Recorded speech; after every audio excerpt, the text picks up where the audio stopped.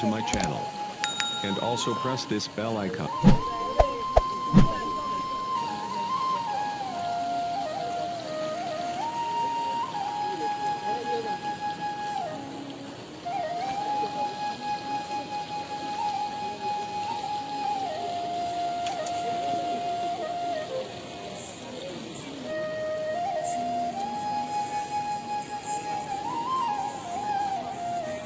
घर उहाँ शिवसताक्षी नगरपालिका वार्ड नम्बर दसको वडा सदस्य हुनुहुन्छ भास्कर सिटौलाज्यू।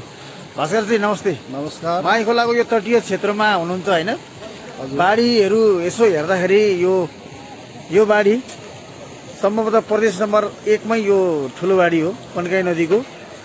कस्तो छ यहाँको यहाँ अहिले जम्मा आठवटा घर बगेको छन्। पाँचवटा घरलाई चौध गते नै बाहिर निकालिएको थियो।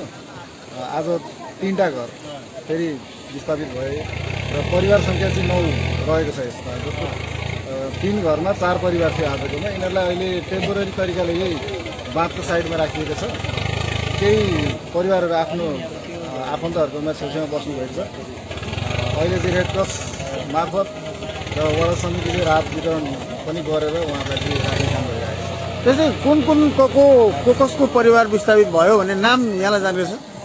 यहाँ नाम आठ परिवारको छ होइन भूपाल चौधरी श्यामलाल विश्वदेव लगायत आठ परिवार छ।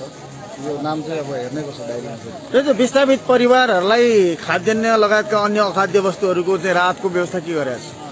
उहाँहरूलाई पाँच परिवारलाई वडा समिति मार्फत पनि राहत उपलब्ध गराइएको थियो।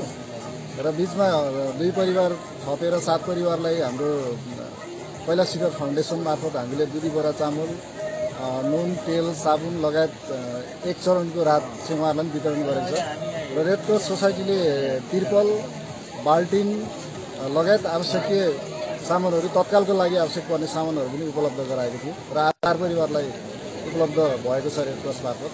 अहिले यसरी नै विभिन्न सङ्घ संस्थाहरू मार्फत सहयोग जुटाएर हामीले उद्धारको काम गरिरहेको छौँ।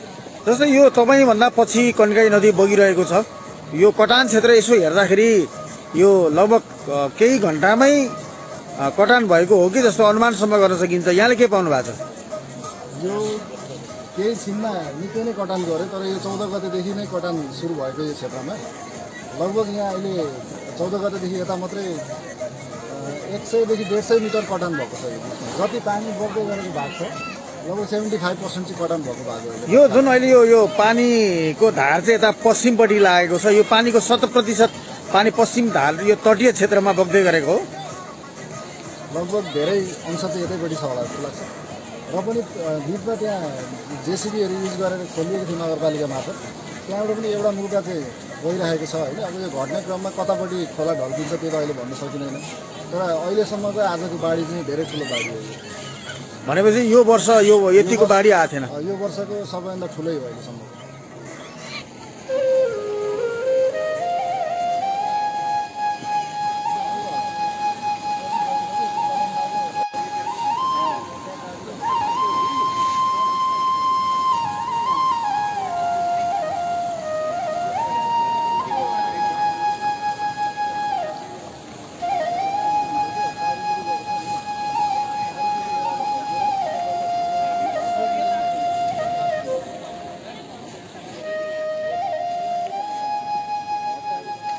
कन्काई नदीको कटानबाट विस्थापित भएको परिवारको सदस्य हुनुहुन्छ। हजुर। के नाम हो तपाईँको? मेरो भोपाल चौधरी। ए कतिजनाको परिवार हुन्थ्यो हामी छजना। तपाईँको घर चाहिँ कुन ठाउँमा थियो? देखाउनु त यसो अहिले मेरो खोलाले। हजुर। भनेको अहिले तपाईँको घर भएको ठाउँमा माइखोला कुदिरहेको छ। तपाईँको बसोबास चाहिँ कहाँ छ अहिले। त? अहिले यही हो। भनेको यो अगाडिपट्टि। यो रङकाठको बिचमा भएको घर हो। ए। हामीलाई कन्का नदीले बगाइसक्ने बेलामा चाहिँ अनि हामीले उहाँहरूलाई सबैले जानकारी गराएर चाहिँ हामीले अनि खोल्न थालेको भनेपछि तिन बजे रातिसम्म हामीले घर बकाइसक्यो बिहान गए राति तिन बजीसम्म घर भत्काइसक्नु भएको थियो। घर अहिले चाहिँ तपाईँको त्यो टिकको घरभित्र बस्तीभित्र छ है? हजुर ए कतिजना परिवार हुनुहुन्छ? छजना। अहिले तपाईँहरूको पालको खाना बस्नको व्यवस्था के छ? खानाको व्यवस्था के छ? छ पन्ध्र किलो चामल दिनुभयो हजुर। तेल नुनहरू दिनुभयो रेड क्रसले हामीलाई दिनुभयो तिरपालहरू दिनुभयो बाल्टीहरू दिनुभएको छ दुईवटा ब्ल्याङ्केट दिनुभएको छ त्यति नै।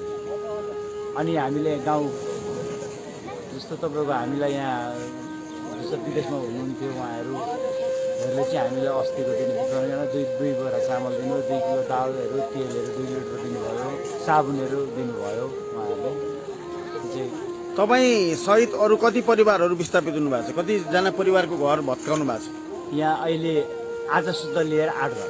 आठ घर। भनेको आठै घरहरू चाहिँ उता चाहिँ टिक घारीतिर गाडीतिर? घरमा जम्मा तपाईँको पाँच घर आएको छ अरू चा अब चार घर आउ आउँदैछन्। उनीहरू चाहिँ अहिले बिलमै छन्। यही घटेको हो। अरू चाहिँ सरिसकेको चाहिँ पाँच घर।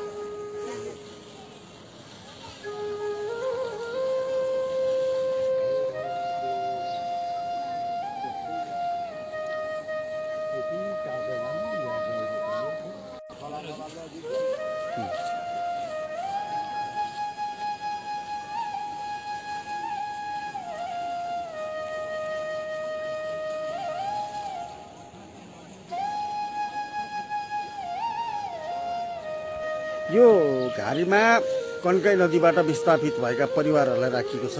यो पर देखिराख्नु भएको छ छाप्राहरू साना साना। म यहाँलाई देखाउन प्रयास गरिरहेको छु। सक्छु या सक्दिनँ?